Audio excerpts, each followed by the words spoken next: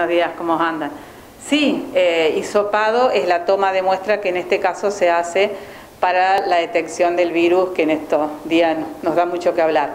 Eh, es, un, es, una toma de muestra, pero el hisopado no es exclusivo de, este virus. Eh, se busca un montón de otros virus en la zona respiratoria, o sea, los virus respiratorios. Tenemos dos, dos, tomas de muestra para, para detectar el virus, eh, o sea, dos tomas de muestras que hacemos acá. Hay muchísimas otras eh, muestras que se pueden analizar para la detección del virus. Lo que hacemos nosotros acá es el hisopado orofaringeo, que es en la zona de la boca, eh, en la zona posterior de la orofaringe, y el hisopado nasal, que es introduciendo el hisopo en, la en, en ambas narinas de la nariz. Eh, eh, ambas tomas de muestras son, la hisopado orofaringio es habitual que le hacemos a los chicos eh, cuando están con cuadros respiratorios y, fiebre, y el nasal no es tan habitual, se pide en casos especiales para búsqueda.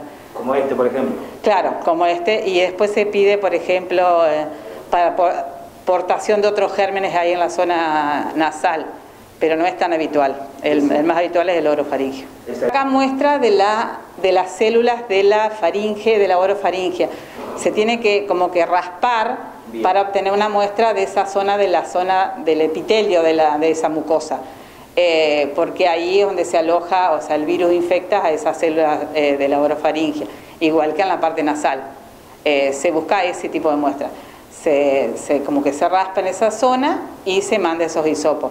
Y en esos hisopos lo que, eh, lo que analizan es buscan el antígeno, el antígeno del, virus, o sea, el, virus en sí. Exacto. Eh, ¿Estos hisopos eh, son específicos, son hisopos que se utilizan para cualquier tipo de, de, hisopado o es exclusivo de este caso? No, son, son hisopos específicos, pero no son específicos del COVID. Son hisopos de Dacron que se llaman, no se usan los hisopos que uno por ahí ve de, de cabito de madera, no, son hisopos de, argón o de dacrón se llaman. Eh, en este caso nos provee salud pública. Eh, salud pública de la provincia nos manda los hisopos, nos manda los envases donde tienen que ir esos hisopos y a su vez otra caja que es como que va en tres eh, soportes, vamos a decir. Primero va el hisopo, o sea, una vez que se toma la muestra, va en una bolsita, después esa bolsita va en un en un recipiente con refrigerante y esa, ese recipiente va dentro de una caja que tiene ese orificio exacto y esa caja va en una conservadora.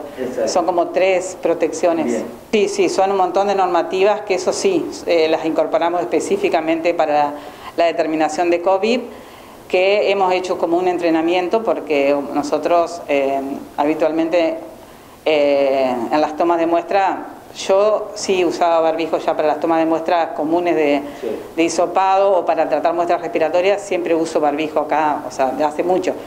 Pero ahora necesitamos toda una normativa y un equipamiento especial, que es un camisolín impermeable, hidrorrepelente que se llama.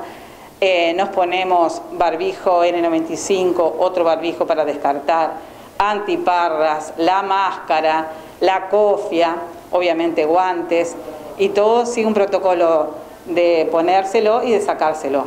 O sea, que va primero, que va a ser... Y a lo último también, que se descarta, que se recupera, o sea, antiparras y, máscaras se recuperan, o sea, las ponemos a desinfectar y vuelven a, su uso. En cambio, los camisolines son descartables, guantes descartables, las cofias descartables. O sea que se necesita mucho material y gasto para la toma de muestra de un paciente. Exacto, el paciente no, el paciente... No, el paciente, o sea, él va a estar con barbijo, la parte nasal yo se la, le dejo el barbijo puesto y bueno, y para la parte de la boca obviamente se tiene que sacar el barbijo. Eh, lo ideal, o sea, que no provoque ni, ni tos ni reflejo, porque generalmente por ahí estas tomas de muestra provocan eh, lagrimeo, estornudo, tos, eh, pero bueno. Eh, son la pregunta, ¿es incómodo el estudio o no? El nasofarín, el del nasal sí, es mucho más incómodo. Igual, hay personas que lo toleran mucho y hay personas que no, porque hay personas que uno al, colocarle el baja lengua ya le provocas la arcada. Y algunos que no eh, resiste, pero yo tengo que eh, tratar de, sea, no tengo que tocar ni lengua, ni dientes, ni nada, porque esa muestra no, es bien de la zona posterior de la O sea, es, poner el baja lengua, tratar de que la, paciente mantenga la boca abierta con la lengua afuera y yo toco y bueno, en esa zona. Pero sí es molesto. Y el, el nasal es peor porque es como que hay que eh, introducir el, el hisopo casi el recorrido, desde la nariz hasta la oreja. Porque es, o sea, uno, si uno se pone el hisopo, choca acá, pero es bueno, chocas y después como que si vas en forma paralela al paladar, sigue todo el conducto hasta donde es el final. ¿Sería ese lugar porque el virus habitualmente se alojaría en esos lugares? Claro, el virus, la puerta de entrada del virus es por ahí y, toma esas células eh, respiratorias, vamos a decir, y bueno, y después prosigue su, su infección, o sea, después ya, o sea, provoca la neumonía, o sea, todo depende de la severidad del caso pero las puertas de entradas del virus son esas células que hay en esa zona, en esa zona de, la, de la orofaringe y de la nasofaringe. Perfecto. Eh, Patricia, eh, brevemente, ¿se han hecho muchos estudios ya en Villaliza? En, en Villaliza tuvimos un solo sospechoso la semana pasada, que se ha descartado como caso negativo, y esta semana tenemos, eh, serían, no sé si tomarlos sospechosos, pero son los casos que la semana pasada mandó protocolo de, de ministerio, de hay que tomarle a todos los que han ingresado a la ciudad, eh, que han hecho el aislamiento, 14 días tenían que hacerlo y después el día 14 se le hace la toma de muestra y se espera su resultado para ver si pueden salir a, la vía pública normal. Bien. Porque se ha registrado... resultados rápidos? Sí, sí, los resultados los tuvimos en menos de 24 horas, el anterior. Esperemos que sea también rápido así para esta gente ¿no? que, que está haciendo su aislamiento.